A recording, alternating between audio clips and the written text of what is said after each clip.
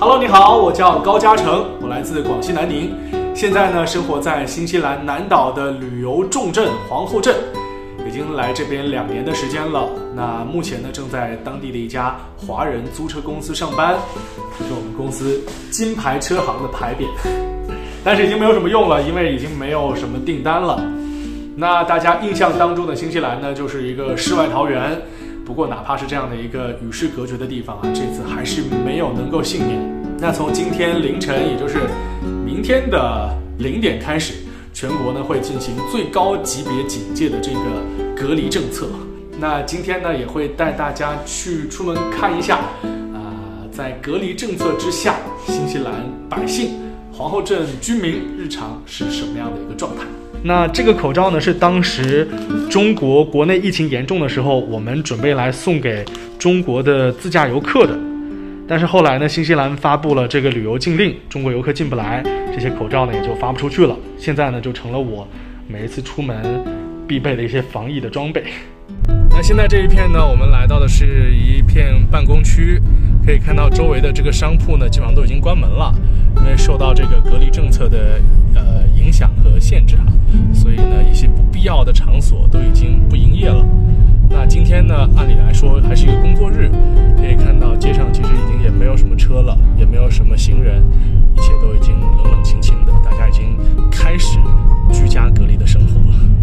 下这一片呢，原来是一片草坪，但是现在可以看到呢，停了很多车，变成了这个租车公司的一个停车场。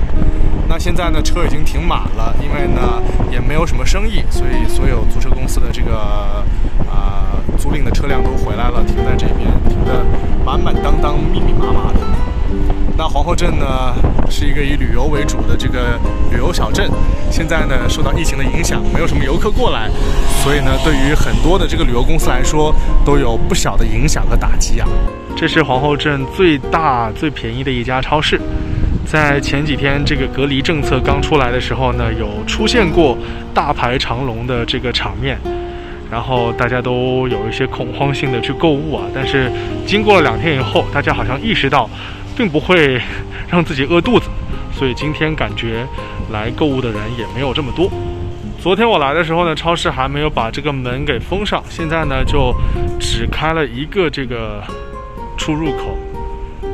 超市呢，其实进去的时候还是可以闻到一些这个酒精的味道。我觉得他们还是做了一些防疫的措施，并且呢，超市里的员工也都已经戴上了口罩。我们一会儿进去看一下。进来之后呢，可以看到这边现在最流行的货物就是卫生纸，摆在了入口最显眼的地方。然后这边是入口，其实人还不是很多啊。然后可以看到货架上这些呃生鲜啊、蔬果啊，其实都是满满当当的状态，就是并不会出现食物短缺，因为新西兰本身它就是这个农业、畜牧业为主的国家。我们是食物的生产者，所以无论怎么样，我们都不会出现粮食危机。主食被买的差不多了，情理之中。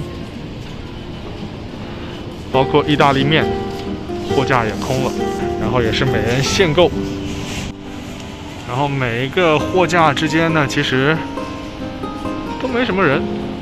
大家现在都已经很淡定了。排队买单的人其实也不是很多，整体来说社会秩序还是很正常的在运转。那接下来呢，我们去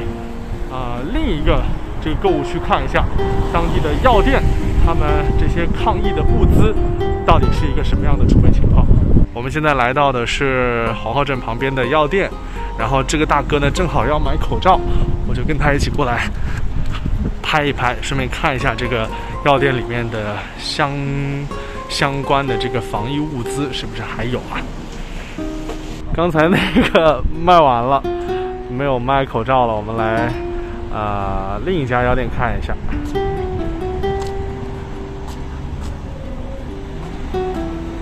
Oh no，已经没有口罩了。嗯？No face masks。好吧。也就是说，皇后镇现在基本上已经买不到口罩了，那大家就尽量别出门了吧。OK，现在呢，我已经结束了购物，开始往回走了，口罩也摘下来了，是因为可以看到街上已经没有人了，非常的安全。那走了这一圈呢，我觉得心里还挺踏实的，因为超市里那些想要吃的、想要用的都有非常充足的准备，还有储备。虽然说口罩没有了，但是就看看这个人口密度，是不是感觉口罩也不是这么的有必要？那接下来的时间呢，可能很多人跟我一样都进入了一个失业的待业的状态，但是好在这边的政府呢有一个支持计划，给每一个企业的全职员工每一个星期五百八十五纽币的补助，